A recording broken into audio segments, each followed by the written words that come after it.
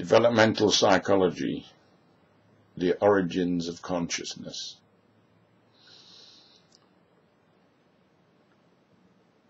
Now before you dis dismiss this as pseudoscience, you should treat it as theoretical and know that others, you know, will come along and, you know, express like express like the theoretical physics into pure mathematics. So I'm doing the same thing. I'm expressing, you know, a theory, an understanding,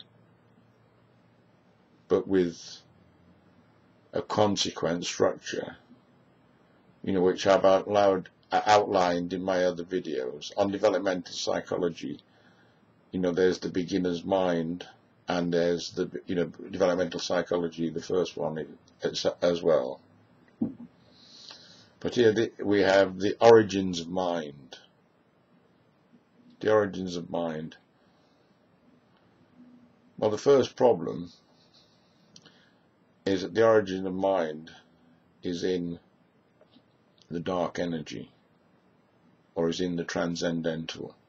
We think, or we've been taught in evolutionary theory, that the origins of mind is in matter, in atoms.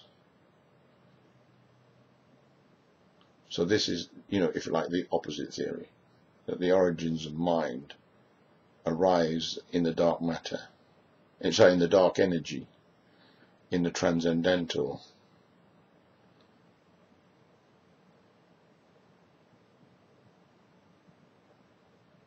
So the transcendental, you know, uh, has got an energy, dark energy.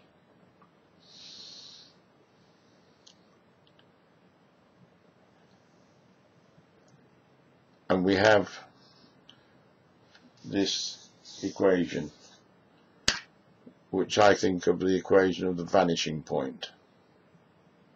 The vanishing point, you know, the, the origin. E to the i pi plus 1 equals 0. E, like the entropy in the system, you know, the exponential to the powers, the dimensions of the imagination and space, plus 1 equals 0 is, a, is the void. Or, and I wrote this the wrong way around, but 1 is equal to minus e to the i pi. So 1 you know, the singularity is equal to minus e to the i pi, i pi. So there's, so while this is real, this this is not real. While this is real, that's not real. You know, the reality of this projection of the singularity. There's the singularity, there's the projection. If the projection's real, then the singularity is not real. The singularity is negative and there's the projection. All the energy to the dimensions of the imagination and spaces. So it's all, so it's the entire entropy in the system and all the imagination and all the possible spaces that you can conceive of, the, the whole projection. e to the i pi plus 1 equals 0. Now, So it starts from this vanishing point, from this origin, and then it grows from that. As I say, other people, other mathematicians will explain what this means. So we have these four. In the Prajna Upanishad it says that I, the prana, divides myself into four, into four, the four the i, the imaginary one, which is equal to the square root of minus 1. So this is like Schrodinger's cat. It contains the possibility of both existing and not existing. So this i is the superposition. And I say that there is a superpixel at the superposition there's a synesthetic superpixel at the superposition. but we'll get on to that. So there we have it. i equals the square root of minus 1, so it can, it's a superposition. It can either be real or not real. We can, it can be just an idea in mind, or it can be there in reality. Now, there we have the point. Now, the, as we move in and out of focus, that point creates that circle. So, so that movement is a function of pi, a transcendental number. You know, that, that we cannot, we can't understand the, the dark energy. We can't understand the, the values of the transcendentals apart from through this equation into the vanishing point. And as I say, you've got to see that not going into the vanishing point, but this is like coming out the relationship between these four and the structure, the origin of mind, of consciousness is in the structure of those four transcendentals. The, the I, pi.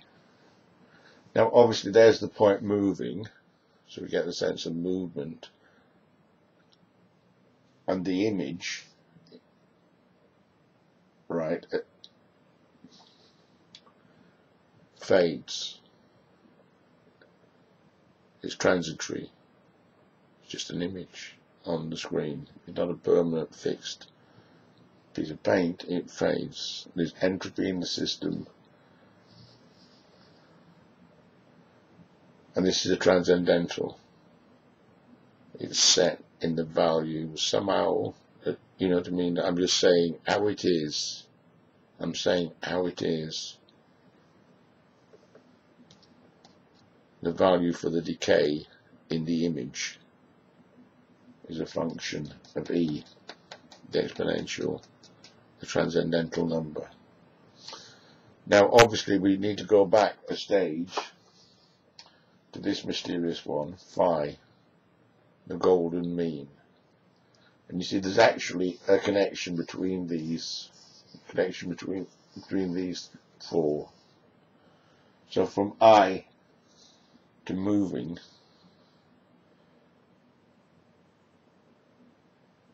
is a function. And there we have the I seeing the harmony.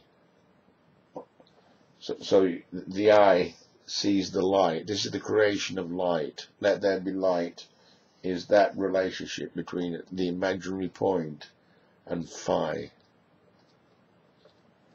And God saw that it was good, it was harmonious. You know, it was the golden mean, the golden section, nature, the Fibonacci series, the Sabhava Dhamma, the becoming of its own, Narayan, the heart. So there is the basic structure of our consciousness. The eye that sees the point move and that image decays. We have the creation of light and the point there because obviously in I, in the dark energy is an infinite number of points but apparently we can manage with 500 pixels. Not a lot, is it? Rice has more genes than we have.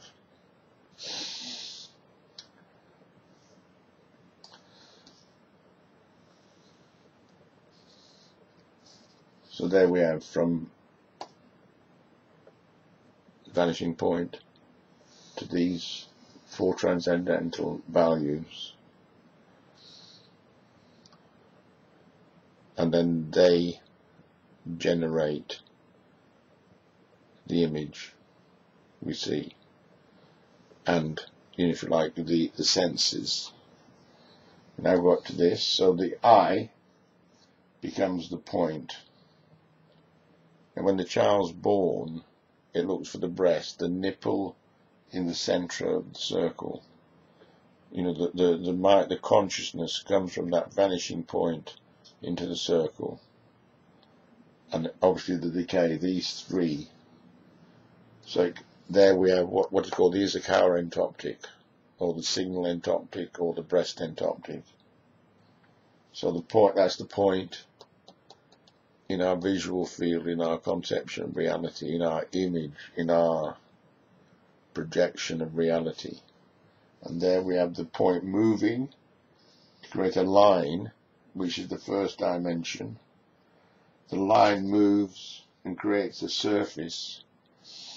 So the point moving creates this idea of movement, this vision of movement, which we see often as tunnels the consequences of action, you know, going down the pan, the tunnels, from that point moving, just the movement. And that movement en endures and becomes the, the face, a surface. And that, as I said, this the child becomes the breast, this is the child. And then there's the face of the mother. So it identifies with the mother then the mother can control the child's access to the breast. And there's the father, the movement, the coming and going. That's in the, you know, the psychology of the child. Now, so there's the eye, see an eyebrow and an eye, seeing light, seeing the point, seeing the point move, seeing the surfaces. So we actually see in two dimensions. Two dimensions.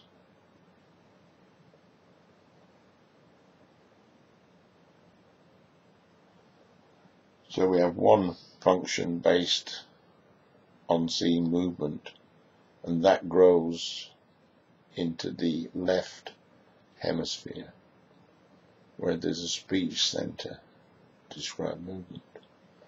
Look at that. Kangaroo. That grows into the left hemisphere. Then we've got the right hemisphere where we recognize faces. We have our music center where we calm.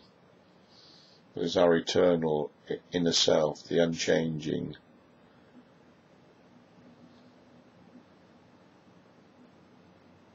There we have the child, the I, you know, the baby, the ego. So there's the spirit, the love that unites us all. There's the father, the mother, and the child. There's the eye, seeing the point, seeing the movement, and that developing into the left hemisphere, and, you know, paranoia, know, actions, movements.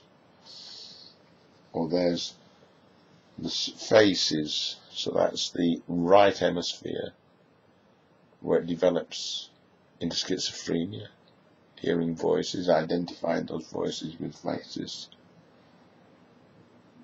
So we've got the paranoia, schizophrenia, and then here we have the heart, the desire for integrity, for harmony, the I, you know, the driver, the ego, all come from this, from phi, from phi.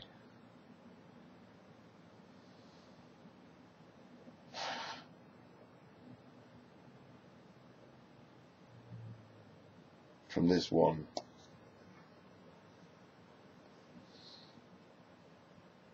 First one in the series.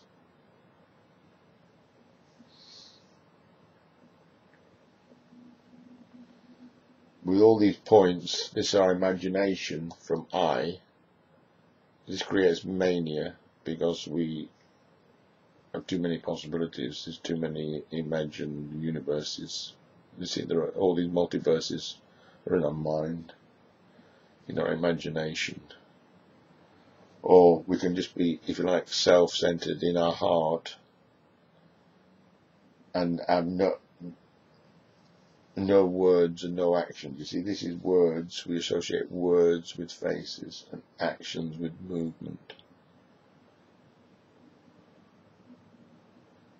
Words with faces, with movement. So, we're, we're, and so that this is because mania. This is depression when there's no words and no action. Too many actions, paranoia. Too many words, schizophrenia. Too many words that aren't understood, and you know, like Mrs. Lang. This is the origins of consciousness. Thank you.